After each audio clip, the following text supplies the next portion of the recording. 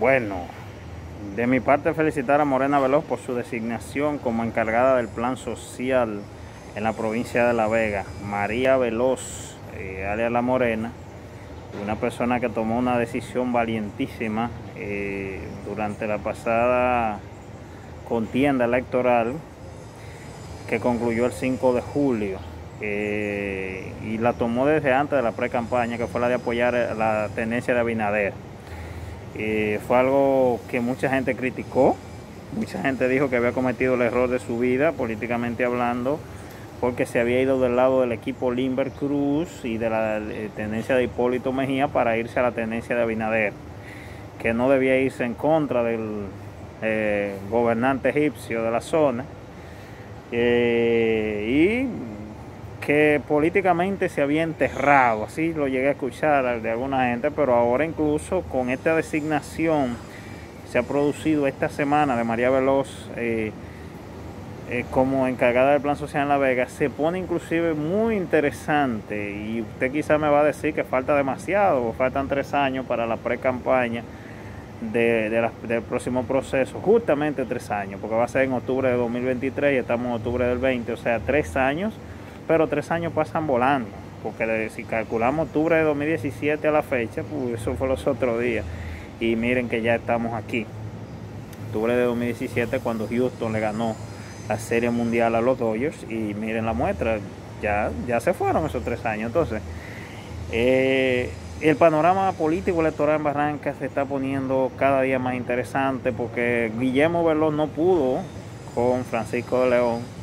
eh, por el apoyo que el INVE le dio, porque Francisco era el síndico eh, eh, en función en el momento y todo lo demás, que Veloz también que no ha hecho una vida política muy activa en Barranca. Ahora Morena Veloz como candidata, precandidata del Partido Revolucionario Moderno, ya desde una posición de encargada del plan social de La Vega, apoyada por el abinaderismo, que va a ser la tendencia, o es la tendencia mayoritaria en el PRM, el pleito va a estar bonito porque entonces si Francisco quiere entrar de nuevo, ya por la mala gestión que lo precede, podría tener algún inconveniente. Ahí estaría Marilei de la Cruz, que me imagino que ahora de vocal va a querer aspirar por lo menos, aunque sea alcaldesa, para ver si puede quizá colarse, aunque sea como vicealcaldesa, si, si no, si es un hombre que va como candidato en el, por el PRM pero también podría crearse un tranque tan fuerte en ese partido en el 2024 que al final tengan que poner la candidatura eh, para evitar una división de partido en Barranca en manos de un candidato extrapartido. Cuando viene a ver, podrían ofrecerle a gente que tiene mucha popularidad en el distrito, que podría estar disgustada en su partido,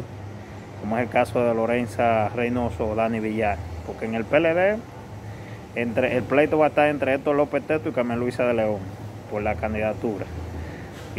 porque yo dudo mucho que Carmen Luisa, ya después de haber sido presidenta del Consejo Vocal y con todo el cariño que la gente le tiene, bueno, pues habría que ver. O sea, yo solamente estoy haciendo son cosas que son suposiciones que uno está haciendo, no estoy dando nada por sentado, porque también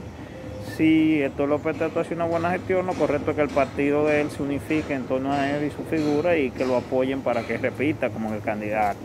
Pero ustedes saben que la política no es así. Siempre hay gente que está en el círculo de espera con el bate en la mano esperando el turno. Eh, y no dice, bueno, este ha hecho una buena gestión, que siga. No, yo quiero también serlo, yo quiero tener mi oportunidad. Entonces eso podría darse en Barranca. Eh, los regidores, domingo Marte podría ser que aspire por el Partido de la Liberación Dominicana como candidato a regidor, alguno de Bacuí, quizá Clarisa Comprés, el señor Bacuicito, a ver si sale electo limpiamente en esta ocasión, que podría aspirar. Eh, qué sé yo, Sergio, con el apoyo de Lorenza, o la misma Hidalmi, la hija de Lorenza, pudieran ser las caras que se pudieran estar viendo como candidatos a regidores o a vocales por el Partido de la Liberación Mexicana en el Partido Revolucionario Moderno, bueno, ahí va a haber mucha gente queriendo aspirar porque tienen el, poder, apoyo del gobierno. Ahí está X Cruz, que es el director nacional de inspección de productos agropecuarios para exportación, que ese cargo le permite ¿no? soñar o pensar en que puede aspirar a una posición incluso de director municipal. Porque quizás nunca estuvo en su mente, pero ahora con una posición tan importante en el gobierno, él probablemente puede pensar en eso. O sea que de verdad el panorama político electoral va a estar muy, muy interesante en el distrito Juan Rodríguez. De la fuerza del pueblo voy a analizarlo en un próximo video, para no ser este tan largo, sobre las posibilidades eh, o las posibles eh, aspiraciones de algunos eh, por ese partido a posiciones cargo electivo en el 2024 o de cara al 2024.